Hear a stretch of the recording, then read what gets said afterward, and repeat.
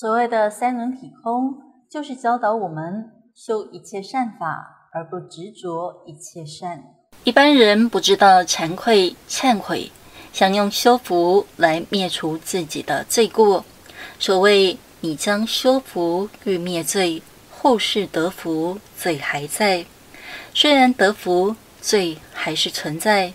现在修大福报，升到天上或在人间，大富大贵。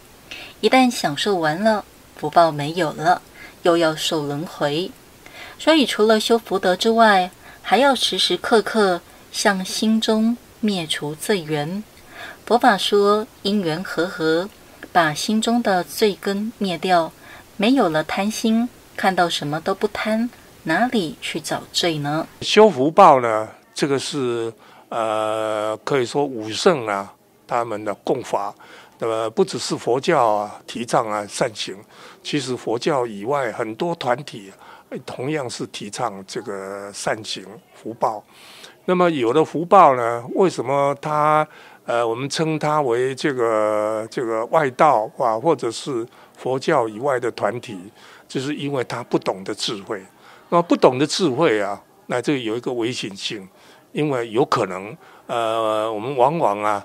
把自己认为呃这个该做的，事实上啊，从智慧面来观察的话，那是一种啊错误的一个这个动力。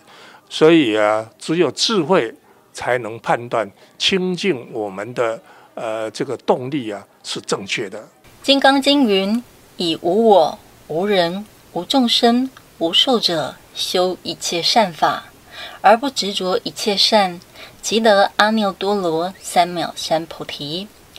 所以三轮体空就是智，修了善法而不执着，就是智慧。所谓的不执着，以布施而言，布施就是慈悲，有财布施、法布施、无畏施。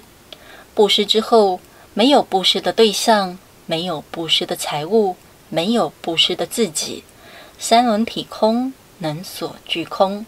时方新闻记者赖一荣台北采访报道。